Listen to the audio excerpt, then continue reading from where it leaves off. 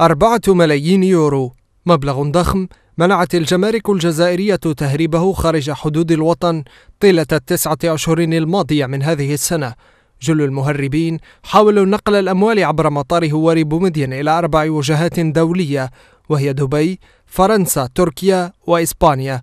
الجمارك الجزائرية باتت تضع هذه الخطوط الأربعة تحت الرقابة من خلال تفعيل مخطط لتسيير المخاطر على مستوى المطارات فمحاولة تهريب جديدة لا تزال قائمة.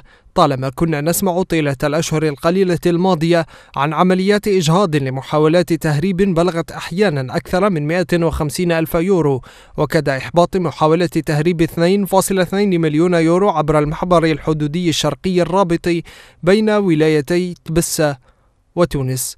من جانب آخر تمكنت الجمارك من إحباط محاولات تهريب مهلوسات وحبوب عبر الرواق الأخضر المخصص للمغتربين على مستوى المطارات والموانئ. قام البعض باستغلال التسهيلات المقدمة من طرف مصالح الجمارك للمغتربين لذلك. ويبدو أن مصالح الجمارك قد اتخذت إجراءات قصوى لتفادي تكرار سيناريوهات مشابهة.